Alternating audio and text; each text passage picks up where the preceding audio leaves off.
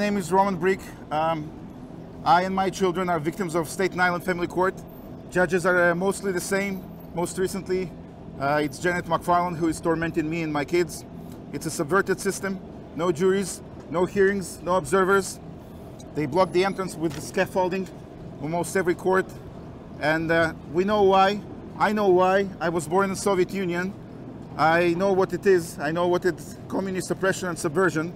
I'm also a licensed lawyer in Israel, not in the US. And I use the, the great United States Constitution in Israel, but we cannot have it in here in America, in New York. I uncovered illegal donations by the judge in my case, Janet Macfarlane. I sent complaints to CJC, they investigated, and they closed the case. They don't care. I uncovered nepotistic appointments by attorneys, uh, by judges of attorneys in Staten Island in family court. In, with quantitative data, it's open. It's it's on my Facebook page. It's, on Fire Janet Macfarlane Facebook page. Uh, CJC don't care. They uh, they get the, the judges take the kids away on bogus allegations with no hearing, and even when victims are vindicated, the kids are not returned. No hearing, no appeals. LaSalle's court, LaSalle is the judge of the second uh, uh, appellate division, was recently rejected twice by New York State uh, Senate. His, his court is doing nothing.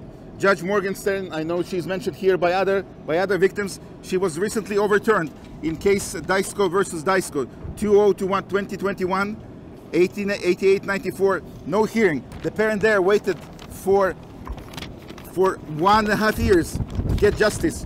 What about the damage done to the kids before that? Very symbolic, the win here. CJC is a subverted organization. They try to subvert the impeachment process designed by the United States Constitution. Yes, the sign is flying like our juries, the juries that are guaranteed by the Sixth and Seventh Amendment of the United States Constitution. Somehow CJC claim they're part of the executive branch. How are they part of the executive branch? They are 11 members. Four of the 11 members are judges.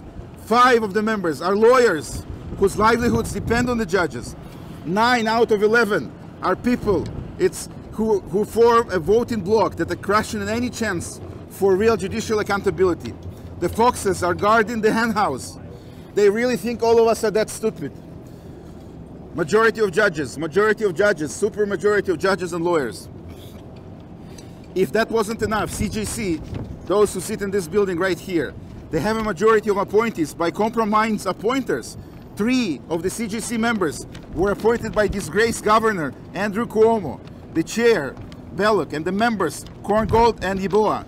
Three others were selected and appointed by disgraced Chief Judge Jeanette DiFiore uh, the member Camacho, Falk, and the recently retired Mazzarelli. Six out of 11 members. Now actually five out of 10.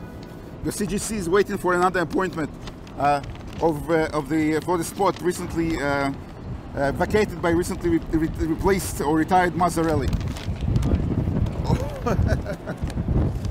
yes, every, every, every, everything is, is flying like the justice in the system.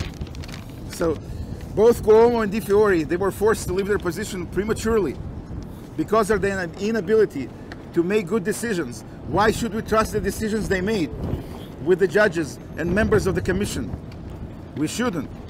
The public is, is similarly entitled to know and to question why, out of hundreds of thousands of, of, of, uh, of attorneys, it was Robert, Robert H. Tembeckjian, the administrator and counsel of the CJC, he is also the one who is connected to the California Commission on Judicial Performance Matters. Why? Why? My guess, and I think a valid conjecture, is they want to replicate the same social engineering push by the government to subvert to subvert the intention of the founding fathers who designed the impeachment process by frequently elected legislature and to subvert it with with CJC who does nothing, does very very little.